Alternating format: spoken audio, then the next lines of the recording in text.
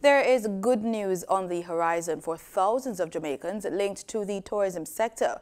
Royal Caribbean International, the second largest cruise line in the world, will resume limited operations to Jamaica come November.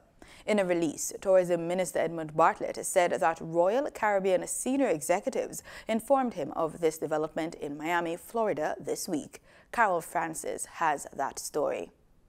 Executives of Royal Caribbean says once a number of logistical matters, some of which are outside Jamaica's control, are effectively resolved, they will be in a position to significantly boost cruises to the island, bringing in tens of thousands of fully vaccinated cruise visitors.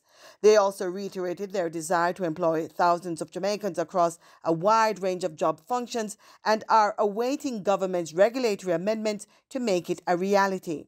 The new developments come following meetings led by Tourism Minister Edmund Bartlett and his team with Chief Executive Officer of Carnival Corporation, Arnold Donald, and other senior company executives in Miami. Carnival Corporation is the largest cruise company in the world. They informed of plans for 110 or more cruises with more than 200,000 fully vaccinated visitors for Jamaica over the next few months. The cruise industry was among the worst affected by the COVID 19 pandemic. The industry grounded to a halt for over a year.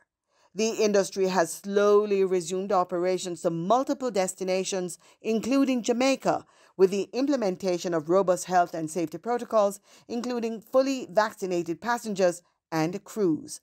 For the news on PBCJ, I'm Carol Francis.